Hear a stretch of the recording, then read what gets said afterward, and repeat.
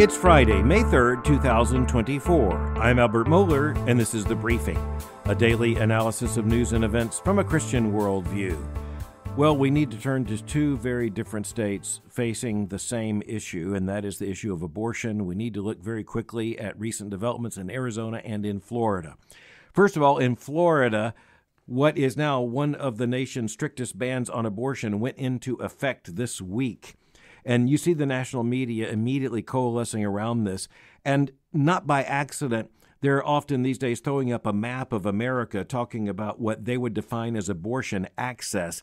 And all of a sudden, they have turned Florida dark. And that tells you a lot about how the larger progressivist culture looks at the issue of abortion. They look at those who oppose abortion as being opposed to progress, as being opposed to human liberation, as being concerned with an ethical issue they don't even recognize is an ethical issue. They see those who hold to a pro life position as being anti women's rights because they define women's rights entirely in terms of secular autonomy. But they also understand what many Christians don't fully understand, and that is that the reason so many in this country are so committed to the abortion cause is because they are so committed to the sexual revolution, that is to say, to the revolution in sexual morality that took place, that largely defined the abortion rights movement, say, in the 1960s and 1970s. Think of Roe v. Wade in 1973.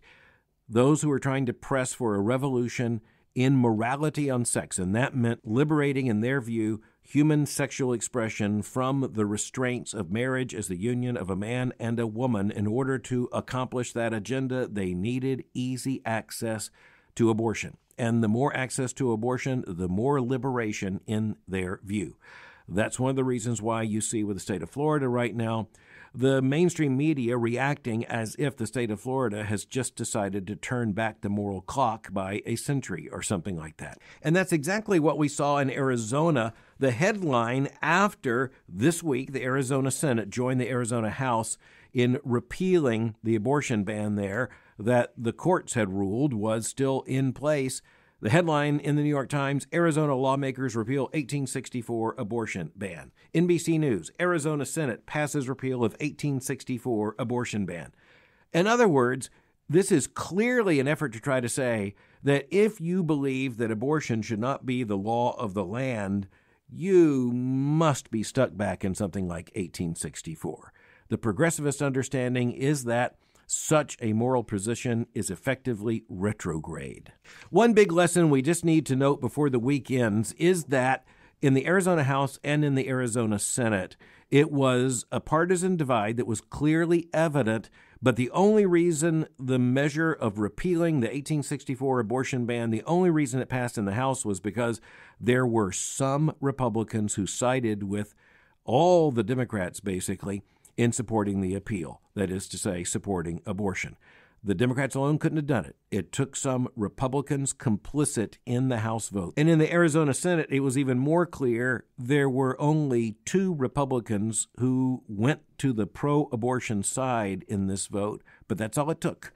Joined with the Democratic votes, that meant that the 1864 abortion ban was repealed. Arizona's Governor Katie Hobbs is going to sign this just as fast as she can. Even that repeal won't take place immediately, but it is just a matter of time in terms of the processing and uh, the way legislation moves through the process. This is a development with massive moral consequence, and we have to recognize this. It tells us a lot on both sides of the country right now. It tells us a lot about where we stand in the fight for life. Clearly, we have even more work to do and more ground to gain or regain than we had ever imagined as recently as, say, a couple of years ago. But before the week comes to an end, I want to make reference to a development with a lot of worldview significance. In this case, it was reported on the front page of the New York Times just this week. The headline Communist Cuba grasps a lifeline, capitalists.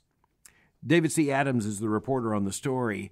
And if you know the history of the Cuban Revolution and the Communist Revolution and the communist regime there in the island nation of Cuba, you understand that what's being talked about here could be a ray of hope, but then again, there have been many rays of hope that have been extinguished. But what the New York Times is reporting on here is the fact that because Cuba's economy is in such horrible shape, it is basically falling in on itself Cuba is unable to feed its own people, to clothe its own people. But nonetheless, Cuba has been through decades and decades of deprivation and, frankly, harming its own people, harming them in terms of any number of issues traceable to all kinds of measures of human flourishing. You just simply look at the fact that the nation's regime has been more committed to communism than to serving its own people. But the breakdown right now is so utterly complete that even the communist regime there in Cuba has had to allow some experiments in capitalism. And guess what? Surprise, surprise, they are working. The article begins by talking about a new modern grocery store that has food on the shelves and also a company that is making Cuban furniture that it's selling to customers in other nations. Quote, these ventures are part of an explosion of thousands of private businesses that have opened in recent years across Cuba, a remarkable shift in a country where such enterprises have not been permitted and where Fidel Castro rose to power, leading a communist revolution determined to eliminate capitalist notions like private ownership, end quote. Now, at one level, this is a really important story in terms of economics. The bottom line Marxism doesn't work, it is a failed economic theory. Now, as Christians, we have to understand that's based upon an even larger failure in terms of the worldview of Marxism, going back to dialectical materialism. What could go wrong? But this is not just about economic issues. This has a lot to do with moral issues that are really central, even theological and doctrinal issues that are central to the Christian worldview. So let's think about it for a moment. The headline in the New York Times article is that communist Cuba is now grasping a lifeline, and that's an experiment with capitalism. So immediately people think, okay, we have two different economic theories. We have communism on the one hand, capitalism on the other side. And there is a sense in which capitalism is not exactly the wrong word here, but the more accurate description of what this article is talking about is a free market, which includes people operating on the basis of a certain amount of freedom in order to invest their own labor in something that will bring about good, something that others will actually pay for, and that will lead to human good and human flourishing to not only those who are making the product and not only those who are selling the product, but also those who are buying the product or service. This is the big worldview issue here. When you look at communism and you look at communist economic theory, the biggest problem is not that it doesn't work. The biggest problem is that it is based upon an absolute insult to human beings being made in the image of God. The biggest problem with communism is that it sees human beings as accidents in an accidental universe who are stuck in a process of economic oppression and need to be liberated. Now, in that sense, it's not that Christians would look at the communists and say, you're wrong to think that human beings need to be liberated. The question is, from what must we be liberated? The Christian gospel says we must be liberated from the reality of sin, the grip of sin, and the consequences of sin.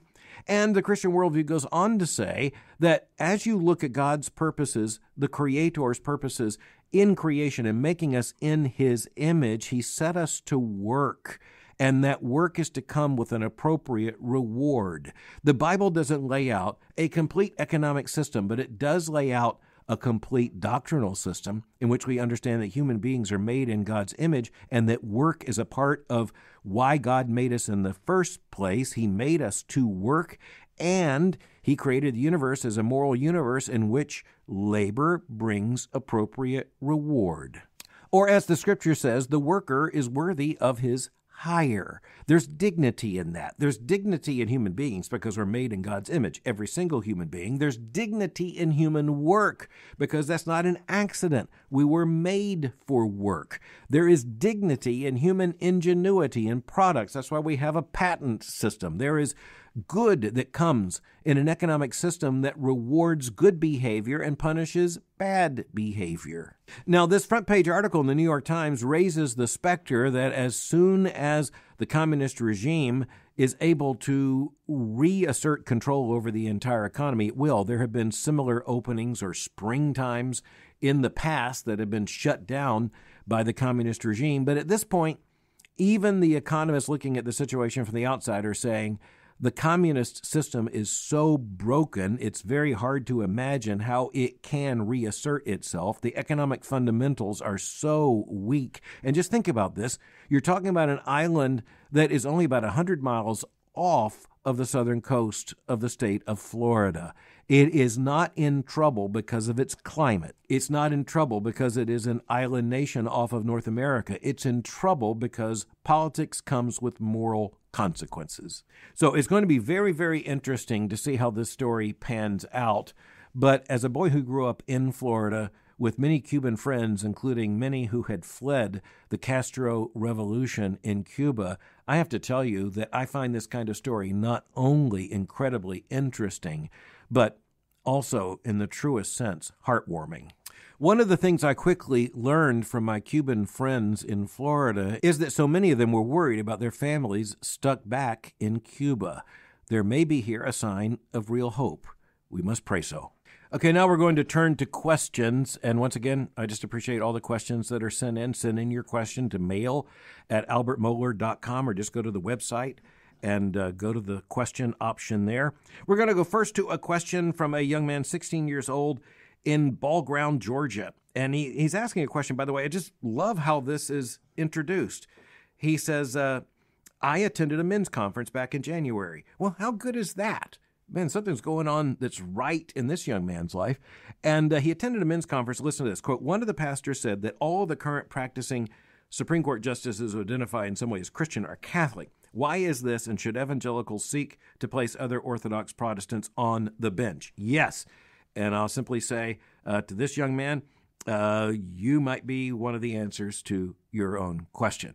But I don't know God's calling in your life. I do know there's a story behind why you have so many conservative Roman Catholics on the bench and a paucity of evangelicals. And let me say this is a little complicated uh, because one of the current justices, Neil Gorsuch, identifies as an Episcopalian or has been a member of an Episcopalian church, but he had a Catholic background and a largely Catholic education. So we'll just count him as included uh, in your description of the question. So, number one, why this concentration on Roman Catholics? Just a couple of reasons historically, but also with some theological explanation as well. Roman Catholicism has a system of ecclesiastical law, uh, that is, law that governs the Roman Catholic Church, known as canon law, and has for centuries done a very good job of producing both internal and external lawyers in this sense uh, canon lawyers inside the church, and also uh, lawyers in the legal profession on both sides of the Atlantic. And there's a part of the intellectual structure of Roman Catholicism that just gives itself to this.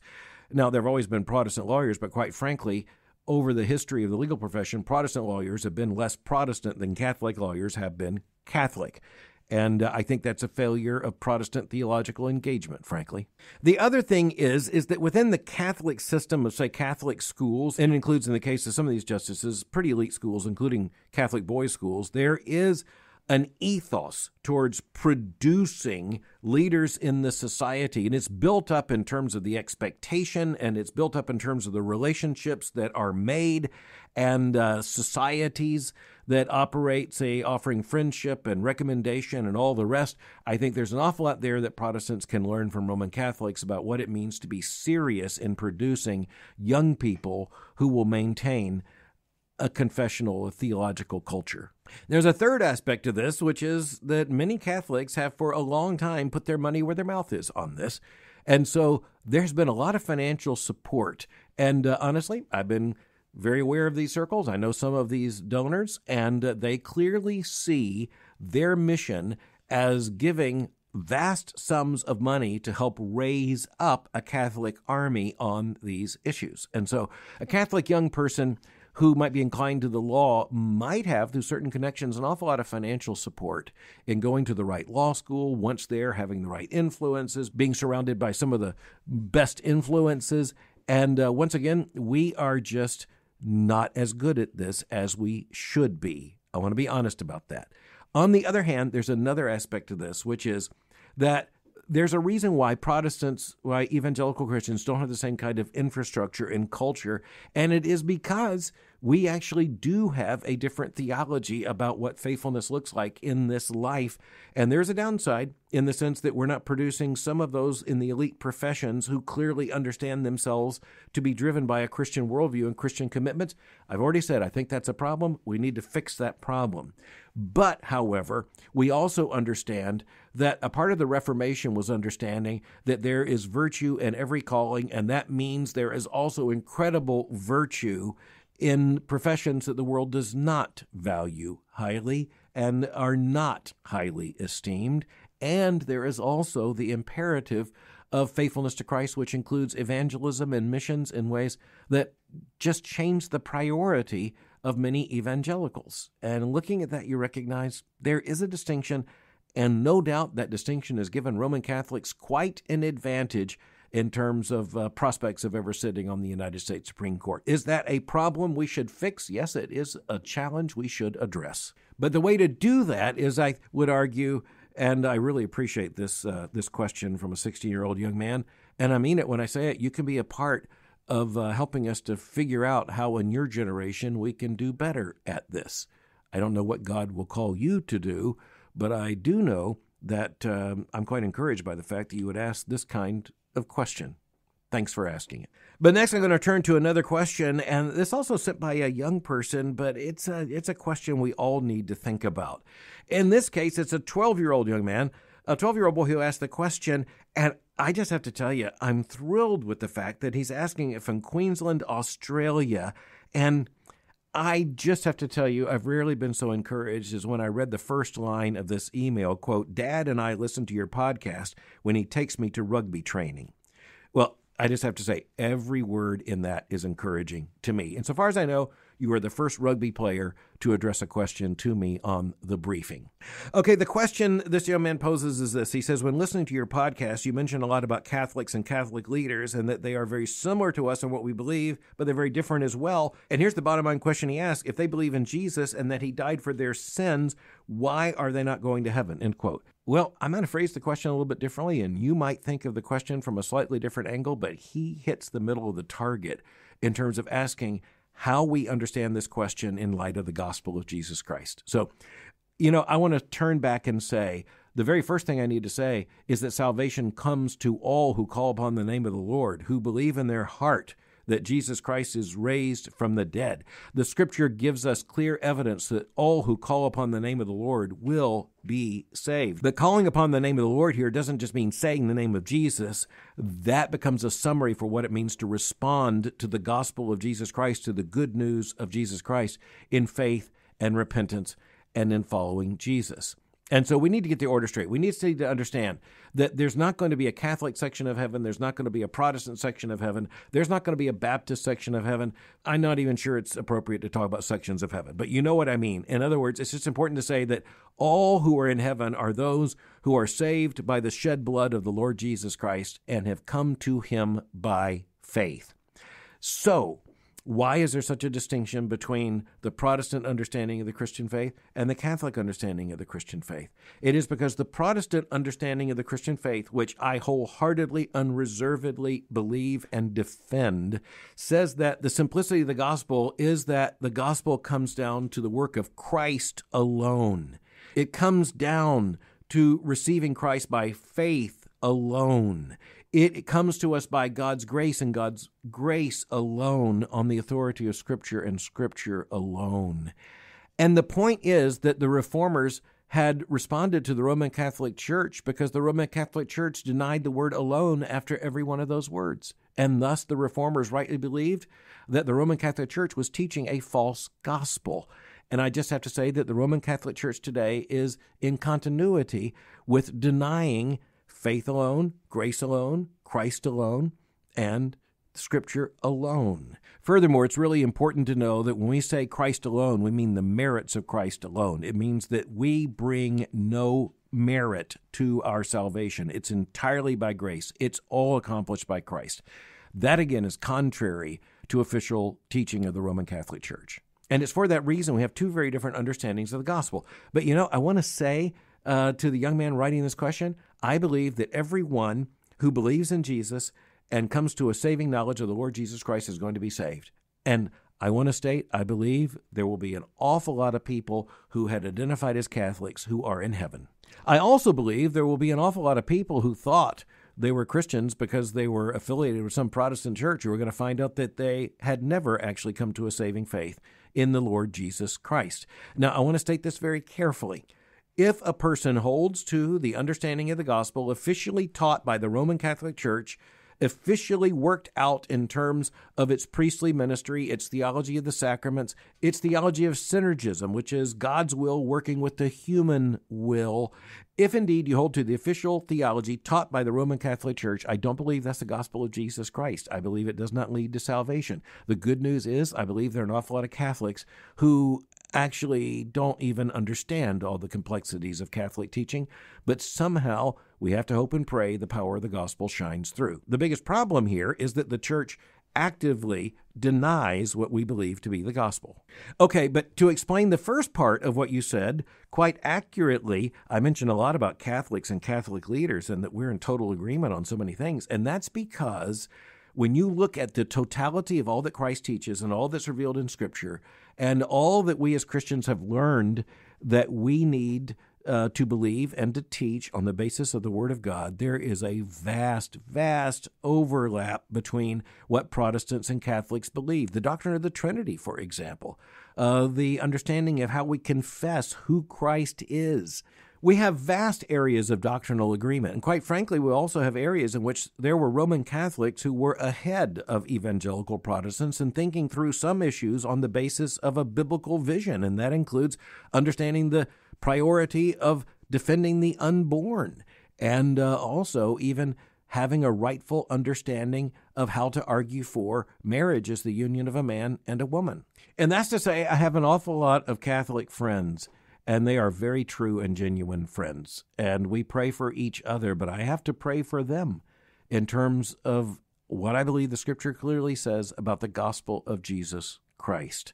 And, you know, here's the other thing I want to say uh, to this 12 year old. You want to know one of the happiest things? Where you have a truly Catholic Catholic and you have, say, a truly Baptist Baptist, we actually respect one another because we're honest about not only the areas in which we agree, but the areas in which we disagree. And that actually helps us to pray for one another. Okay, so it's not every day that uh, in the question sent in, there's a reference to the fact that it's a bit of a time sensitive situation. But a student sent in a question, and it's so good. I want to deal with it, and I hope it's still in time to be helpful. But the question has to do with the authority of Scripture. And uh, this young woman says, currently, my friend and I have had a debate over biblical inerrancy. She's currently writing a thesis on that topic at her Christian private school, and her position is that the Bible is infallible, not inerrant, while I strongly believe infallibility and inerrancy are, in fact, the same thing, and that the Bible is totally infallible and inerrant. Well, she goes on uh, to flesh out the question a bit, but you know, I think this is just outstanding. And and by the way, I want to say to this young woman, you are entirely right to believe that the Bible is both inerrant and infallible. And both of those words are absolutely necessary to speak about the total truthfulness and trustworthiness of the Word of God. I do want to make one qualification in what you wrote uh, when you say that inerrancy and infallibility are the same thing. I'm going to say, no, they're not exactly the same thing, but they require one another. In other words, if you truly believe in the infallibility of Scripture, you're going to believe in its inerrancy. If you truly believe in the inerrancy of Scripture, you're going to believe in its infallibility. But there's a history to this debate. And it has to do with the fact that there have been some who have tried to say, I believe the Bible is infallible. That is to say, it doesn't fail. It doesn't fail to communicate God's word to us. It doesn't fail to convey to us the full witness of Jesus Christ. The Bible can't fail because it declares that it can't fail. It's God Himself who says, My word never fails to do what I send it to do. If you believe in the Bible as God's word, you believe in its infallibility. But I also believe you must believe, and I want to say to my letter writer, you say you do, and I'm thankful for that. You also believe in the Bible's inerrancy. And that is because the word's a little bit different. Infallibility means the Bible can't fail, and inerrancy means it includes no error. There's no error in it. Now, the reason we're having this conversation is because there were some people who tried to make what I believe is a false argument years ago, trying to say, I can believe the Bible's infallible, but I don't have to believe it's inerrant. I can believe that somehow there can be errors somewhere in Scripture, that nonetheless do not mean that it will fail to rightly, trustworthily convey God's self revelation. Oh, I think that's a contradiction. I think that's a failure in logic. And I don't think, by the way, that position can hold for long. And the evidence of that is the fact that you very rarely see that argument being made anywhere these days because it's very hard to find someone these days who actually will argue for infallibility if they know what it means and deny inerrancy. And I want to say to this letter writer, I want to refer you to a document that I think might help. That document is known as the Chicago Statement on Biblical Inerrancy. So you can just Google that, the Chicago Statement on Biblical Inerrancy. And uh, it includes a document called Affirmations and Denials. And I really think it helps to clarify this very issue. I think it might be helpful not only to you, but to your friend. And I appreciate the fact that you are engaging with a friend on an issue of this importance. And I pray that the Lord will draw you both even deeper into uh, faithfulness to Him and in love for God's Word. And I simply say we need both of you in the rising Christian generation, and we need both of you to affirm both the infallibility and the inerrancy of Scripture. God bless you for sending the question.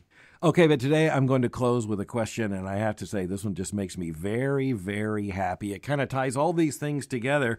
It is sent in from a listener from Washington, D.C. Quote, I know we as evangelicals have some strong opinions about the position of the Pope.